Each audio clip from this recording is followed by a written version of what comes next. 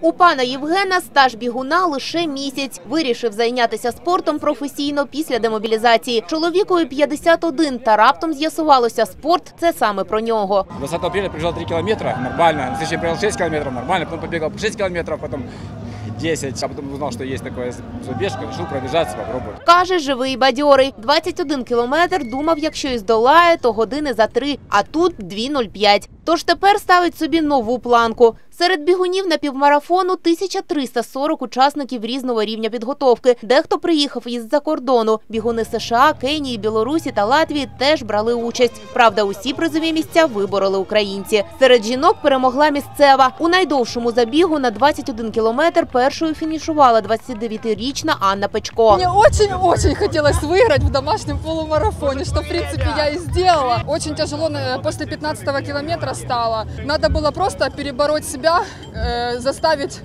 не ноги бежать, а заставить бежать голову. Анна каже, співала про себе пісні, а тепер радіє душею, хоча свій власний рекорд не побила. Запізнилася на півтори хвилини. Перший приз серед чоловіків – влучанина Сергія Оксенюка. Він здолав дистанцію за годину, 5 хвилин і 54 секунди.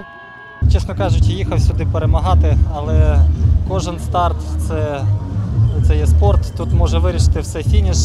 От, але дякуючи такій класній організації, такий насправді європейський пробіг. От, і часто стартую е, в Європі. Дякуючи такій позитивній атмосфері, вболівальникам вдалося перемогти. Задля проведення забігу центр міста зробили пішохідним. Вздовж дистанції чимало оболівальників. Бегут, настроение поднимается у самих. Они хоть 21, а мы хоть два по городу прошли быстро, пока дошли сюда. Перекрыт город. У нас бегун бежит, 54 года. Одногруппник приехал из Сум. Мы очень рады. Саша Никулин сейчас будет бежать. А хтось і вболіває, і приймає сонячні вани одночасно. Солнышко загораем заодно. Рад за людей, можно сказать.